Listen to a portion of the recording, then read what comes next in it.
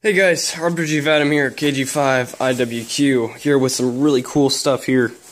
Um, man, so online I've been seeing some videos about the 12,000 volt neon sign transformers. And as you can see, I have four of them in front of me. Not one, but four. Um, unfortunately, this black one, as of right now, doesn't work, so I gotta figure out what's going on with it. The white one does.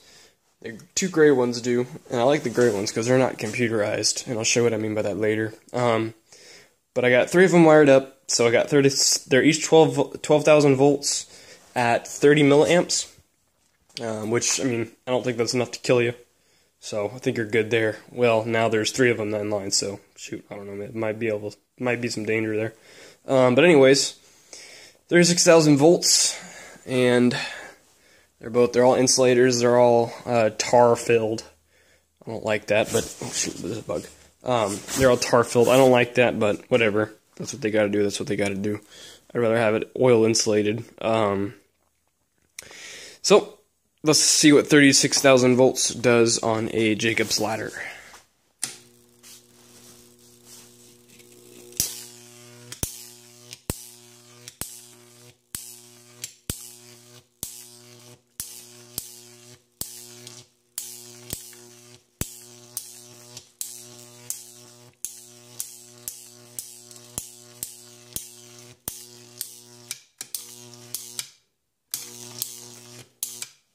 So yeah, that's uh, what it does. That's what 30, 36,000 volts sounds like and looks like. Um, let me break it down for you. So what is a neon transformer? When you're on the streets and everything, you look up at neon. Well, neon is actually a high voltage um, arc. It's a controlled arc inside of a vac inside of a chamber. I think it has mercury in it. I can't remember if it's mercury or some kind of argon gas. But anyways, um, that's what it is. Probably a mercury vapor because it's conductive. Um, someone could probably give me some comments about that. But uh, anyways, they these are what this is what powers the neon, and these are for very very big signs. Uh, Twelve thousand volts, extremely excessive. Um, nowadays they make little six thousand volts that are tiny, but they don't last for nothing if they're outside. They're just crap. Um, if you're in the field looking to get a neon transformer, these are the ones you want to go with right here. This is kind of a tutorial as well. Um, we want to try to get these standard, uh, neutral, live, uh, no computer board BS like these ones have. They're good, don't get me wrong, but they got problems, and I'll show what that is in a second. Um, so basically, you want to get these ones. These are very good, reliable, and they're going to work. Um, as long as you take care of them and keep them clean, they'll they'll be fine. These are basically Inside, you got your primary windings and your secondary windings. Your primary windings are 120 volts, which is what that is. Okay. Secondary winding is that big guy right there. That is, um, I can't remember. Oh, yeah, 12,000 volts, 30 milliamps.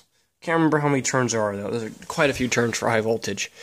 Um, tar insulated, not oil insulated. Wish it was oil, but uh, and then you get your your 120 transformer or transforming into 12,000. Pretty simple how it works. Nothing, not much to it, and there's no fail safes in there.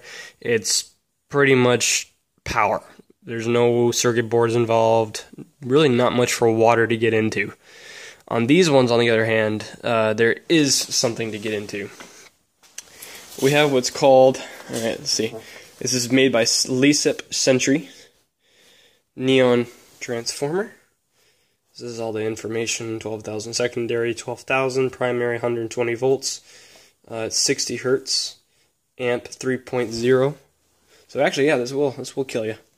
3.8 3.0 amps, man. That's shoot.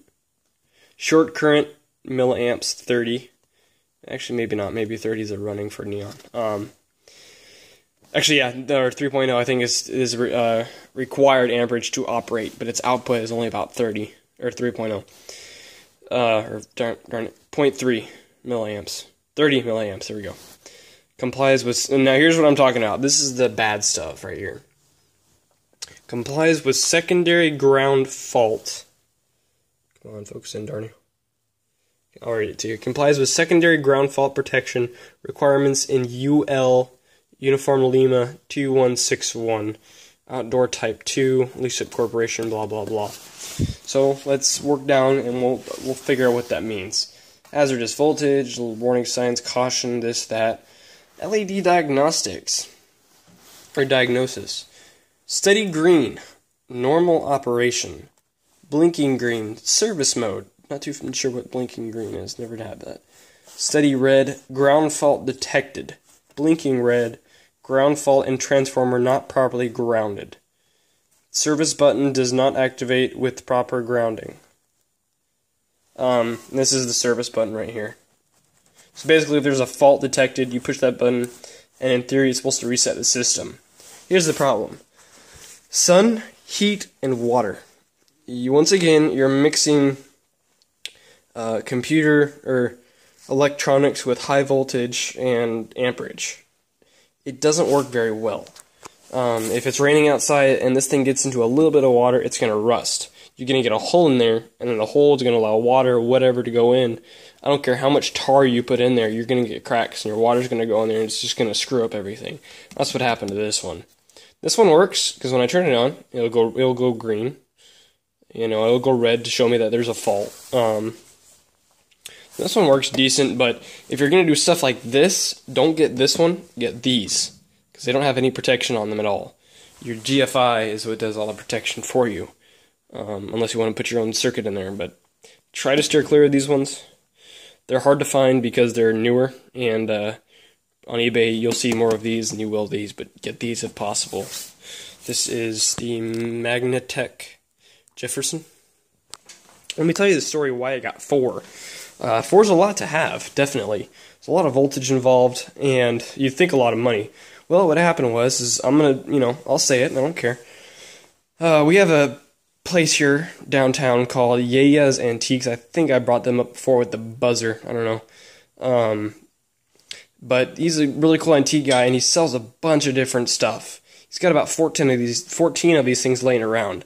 Um, and I made him a deal. I said, okay, look, I really want to get these. The problem is, I don't have any way of testing them. And he said, Look, I, I see you a lot. I know you pretty well. We've been talking to, other, to each other for a while.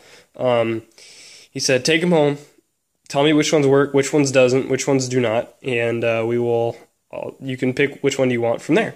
I said, Sure. So, um, and I think I'm also going to get a substation fuse tomorrow as well. So I'll do a review about that. But anyways, um, so you know, I took him up on the offer and I took all these home for today. And I decided to test which one's good, which is good because this one doesn't work, and I need to tell him this one doesn't work. You know, and they're not really good for parts because you got to melt the tar somehow without destroying the electronics inside. Have fun with that. Um, so he has a bunch more that need that need to be checked and serviced, but I'm gonna, you know, I'm gonna do my best to hopefully assist in that. Um, but yeah, I'm gonna return these two tomorrow. I'm gonna take back. I don't need them. Uh, but man, I'm gonna buy these. I think I'm gonna get both of these. These are great. So, and what's cool about this guy is if if you buy something from him and it like this and it doesn't work. The heck was that? That was a really weird sound. Okay. Um. Anyways if you buy something like this and it's really weird um, and, and expensive and high voltage, he will re- refund you the money or have you buy a new one or let you get a new one. So cool. But yeah, guys, that's pretty much it. And uh, I'm gonna do a review or a video later on about the X-rays. The X-rays. Uh, man, that noise was creeping me the hell out. I don't know what that was. Do a review later on because he will generate X-rays, and I'll use my thunder capacitor which is a saltwater capacitor, and I'll do I'll show you what that is later on. Pretty cool stuff. Um, like I said, if you're gonna go on eBay and buy one, get these, not these. Try to steer clear. So, all right, guys, hope you enjoyed it, and uh, you don't see 36,000 volts on YouTube with three neon transformers too much on YouTube. You have a go on KG5, IWQ, RBG VATM 73.